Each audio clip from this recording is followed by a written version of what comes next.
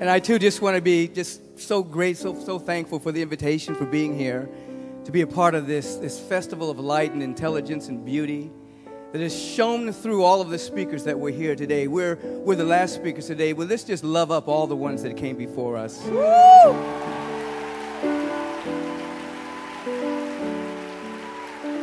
And you've been here all day.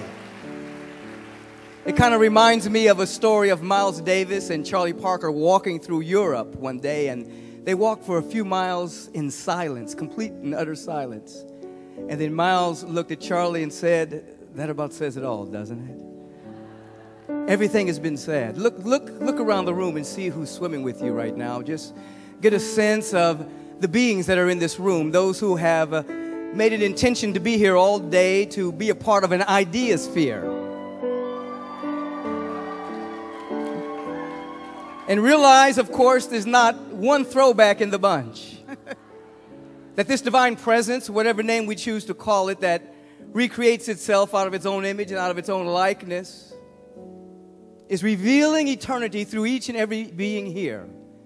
The theme for the day has been The Dream is Real, and my part of it is called Let Your Dream Awaken You.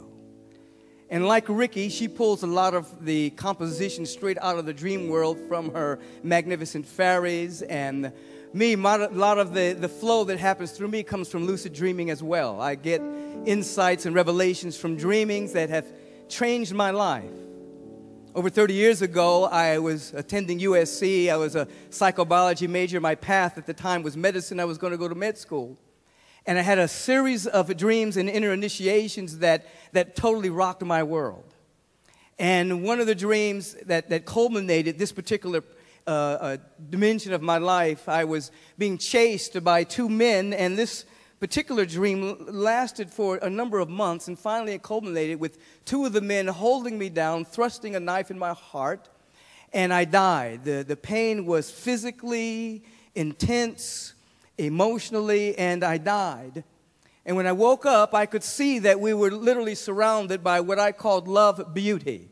That was my name for God at the time, this divine presence, because I was more agnostic at the time. Uh, and, and, and so all I could see was this love and the beauty. I felt as if I was being penetrated uh, by the universal presence, as if I was the only being alive. There was so much love coming into me, and I felt absolutely, totally worthy, totally taken care of, totally filled to overflowing with the love of the universe. And the beauty was intense. Everything was alive and shimmering with, with this life, with this beauty, with this essence, from a piece of lint to a plant in the room to everyone. This is the way it is And now. Everything alive with this dynamic love beauty. And so I went on a search to discover what had happened to me, what had opened up in me, that I could see that we were surrounded, that, that this presence wasn't in everything, but that everything was in this presence that we live, move, and have our being in this dynamic presence of love and beauty and intelligence. And it's, a, it's constantly expressing itself and looking for instrumentalities through which to reveal its essence. As you have heard today, the intelligence and the, the brilliant ideas from the idea sphere flowing through the presenters here today. And I discovered as I began to research the, the major religions and the major avatars and the wonderful mystics and the teachers uh, that have of course, at bottom, their insights were the same that, that there was an event that took place in consciousness that allowed them to become aware of something that was inherent within all of us that was bubbling up to the surface. And as it became strong in some, religions galvanized around them, our, our art emerged from them, our divine creativity flowed uh, through them, and it radically changed my life. And I, I began to, to move and hear this, this inner voice. And I can remember at the age of 27, the voice said, It's time to go public. And I was scared to death because I was an introvert, like the woman was talking about. I loved having my private love affair with this love beauty that was everywhere my muse, my love, my beloved. And the voice said, It's time to go public. And so I put myself in positions after that particular uh, encounter uh, to be able to be able to, to speak to people one at a time, two at a time, healings, uh, uh, uh counseling, ultimately going through school, graduating with degrees and that type of thing in order to ultimately found the Agape International Spiritual Center. So from that dream awakening in me, I can see that each and every one of us is a unique spiritual composite idea that contains every single idea that the cosmos has. Every idea is contained within all of us that we are here to surrender and yield to it so that the cosmos uh, with the K that contains the undifferentiated wholeness, the primordial void of darkness out of which everything arises, and all of the universes and the galaxies, uh, that which is the invisible bursting into expression as the physical physical, visible, elegant expression of the all that is. Each of you contain all of that. All of that is within you. All of that. And so, however you've been labeled from time to time in your unfoldment, in your development, if you have not been called an emanation of the Most High, it's been a lie. You are an emanation of the Most High. And then there was uh, this other other uh, other other dream that occurred. And there's been many. I mean Rickie can tell you i wake her up many times and and, and this particular one i called uh, dreaming myself awake or uh, falling awake. And we went to bed i went to sleep and as i fell asleep i fell awake. And i could see myself in all of humanity and I traveled lucidly throughout around the planet, and I could see the light of the divine. At this particular perspective, my life was the life of the divine. I could see myself in all of humanity. And this divine light of intelligence and beauty and love was bubbling up to become conscious of itself in all of humanity. And I could see the ceilings in individuals, their beliefs, their perspectives, their opinions, their points of view, their positionalities, uh, uh, all of that that might be hindering the bubbling up of this light seeking to express itself by means of them. And this went on all night. I could see groups of individuals, and I could see the light seeking to become conscious of as the individual. I could see one being, and I, I traveled to the Dogon tribe, and I could see their perspective, and I could see that they saw things way beyond the, the Western world saw. The perspective was, was much wider, and this went on all night. And then the sun began to shine through my window. And as it shined through my window, I, I, I woke up, became body conscious again, and I said, I'm Michael now. And I woke up Rickie and I said, I'm Michael now. And she said, Yeah. And, and I said, No, I've been everybody else all night. I've been traveling, I've been the light within all beings. And I began to describe what was happening, and I could see this glow around her and it was becoming brighter and brighter. And so first I thought, my God, she's catching what I'm saying. She's starting to really become bright here. And then I thought, no, she's always shining. I'm just noticing it right now. She would agree with the latter, of course. That's right. Which is true. I mean, when we talk about Moses seeing the burning bush, Moses was just having a good day because the bush is always burning. There's, there's, never, there's never a moment when all of the foliage and all of the light and every and all of that's always glowing. And and and and this is a diversion I can remember when I was in Africa with a, working with a particular shaman and he took me out into the jungle and I, we were talking and communing with the trees. And after I left the jungle pitch black everything was aglow. It was like daylight in the jungle in the dead of night because I could see through the luminosity of the foliage coming off uh, off of the trees and off of the grass. So everything is glowing. So I began to tell Rickie about what had happened that night and what I got from that particular dream a reminder that this light within us that's inexhaustible, that has no beginning and will never end, and is always unfolding to reflect and to reveal the infinitude of the presence, it's going to win. It's going to win. It's going to win. I, I want you to know now that that light that is within you, it is going to win. It, you may have time, all it has is eternity. it's going to unfold. And yes, we're on the brink and the precipice of such devastation for the, for the world and for our species and, and for all of, of species that are on the planet, but this planet itself is alive and its octave has increased and it has become more conscious. And it is waiting for all of us to become more conscious, to vibrate at a higher level, to allow that which is within us to unfold in ways beyond our wildest imaginings. And then there was this other dream. My latest uh, was at Maui. It was in December. Right, we were here. And as I fell asleep, I was pulled into this vortex of, uh, I could feel the pain and the suffering of humanity. It was a debilitating experience and a debilitating dream. It was so debilitating that for days I was afraid to even go to sleep because I didn't want to feel that again. And I could feel the pain that was going on on our planet uh, people dying, people suffering, uh, people not knowing where they were going to eat the next day, all manner of pain. And it opened my heart up to such a deep sense of compassion. The heart broke.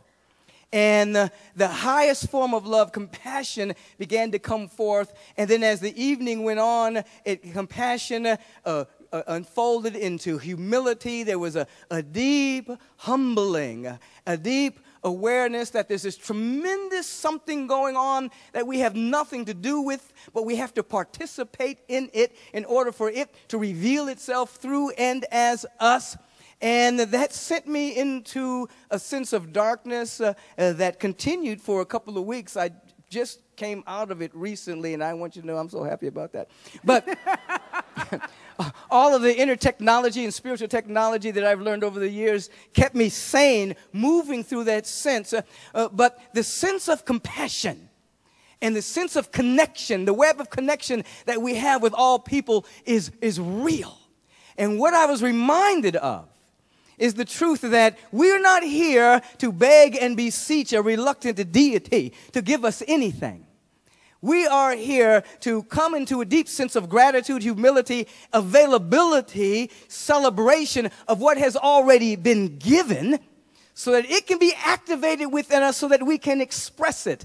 In other words, uh, I can say electricity is all in this room, but it needs an instrument. It needs a light bulb in order to manifest and to reveal itself as the effulgence and, and the light this presence is everywhere. Love is everywhere. Peace is everywhere. Joy is everywhere. These are eternal qualities, not merely the absence of conflict. These are eternal qualities that are real, but they need instrumentalities through which to express through. So we are not here to beg God to come down and give us a miracle. You are the miracle. You are, you're the miracle already.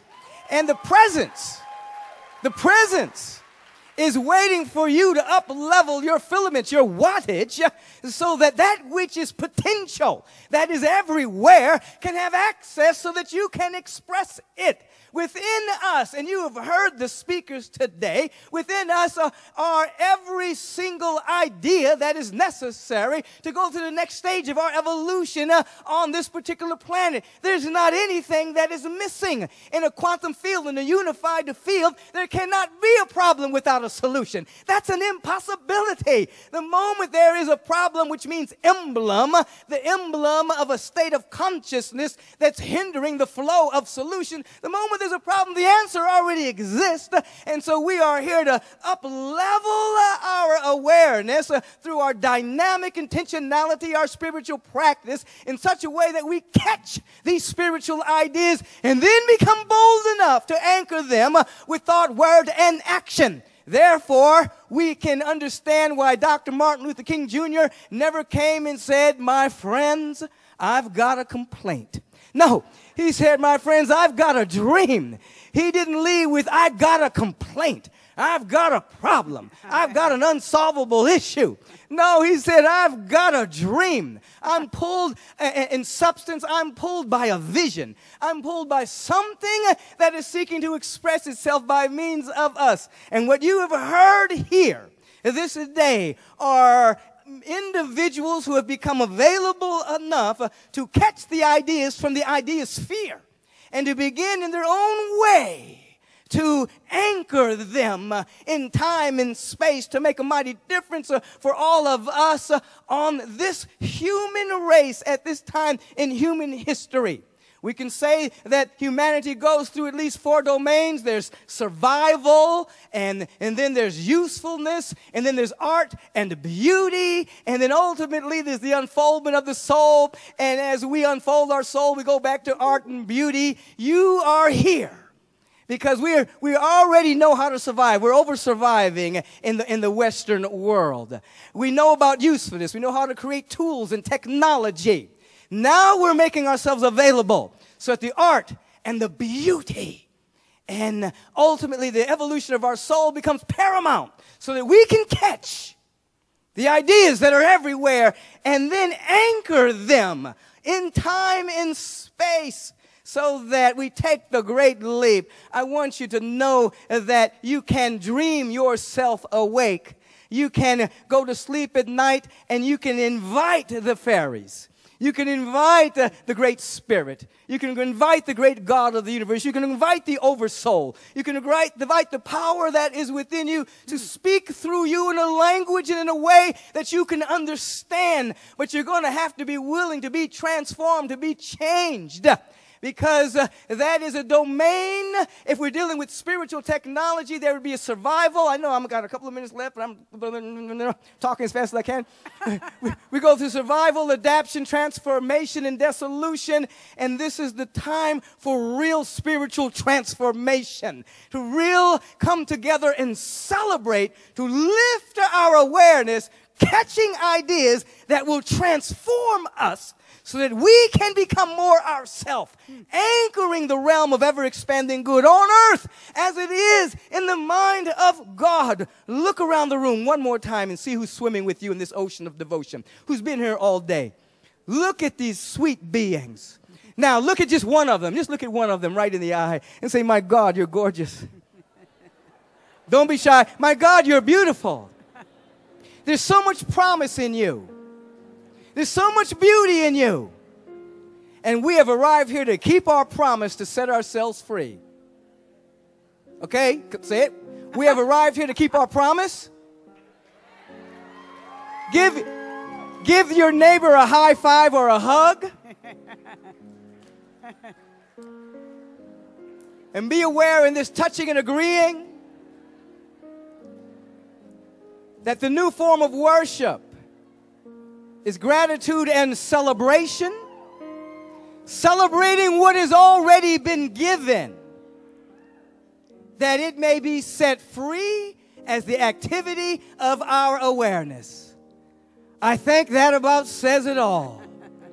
I love you. Thank you for the invitation. Thank you for your receptivity.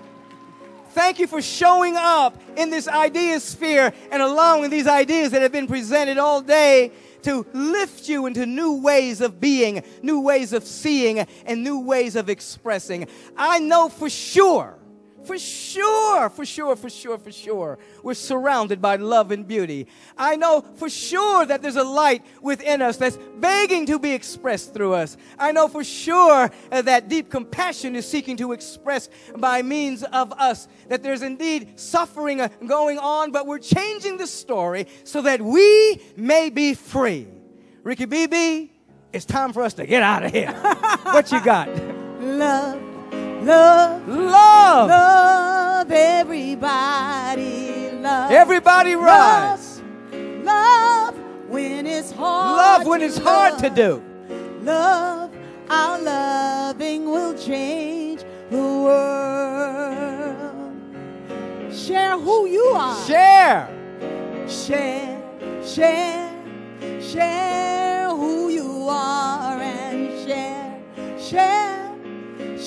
share, when it's hard, when it's hard to, to share. do. Share, our sharing will change the world. Yeah.